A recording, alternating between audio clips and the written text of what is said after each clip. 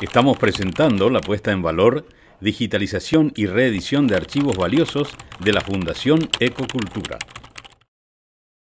Eh, más o menos 11 años atrás comenzamos acá un trabajo que para nosotros realmente era una aventura, una historia, tratar de recuperar después de muchos años el abandono que tuvo esta, una de las mejores historias culturales que tenemos en nuestra América Latina.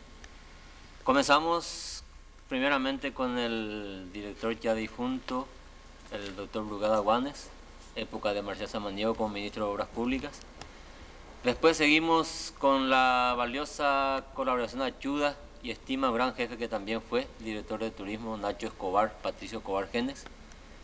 Trabajamos con él más o menos 10 años de lucha intensa, mucho sacrificio, poco valor se nos dio.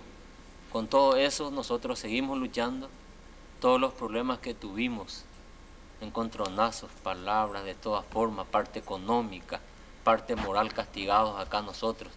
Todo en eso llegamos a triunfar y hoy acá ya con la nueva dirección del director nuestro, Derli Esteche, y su equipo ya tenemos esto realmente hecho realidad, con mucho sacrificio, con muchos plagueos, como se dice, pero llegamos.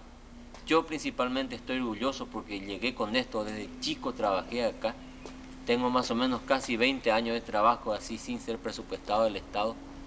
Hace 10 años que fui presupuestado recién del Estado. Y estoy acá luchando y he triunfado con estas reducciones y me siento orgulloso.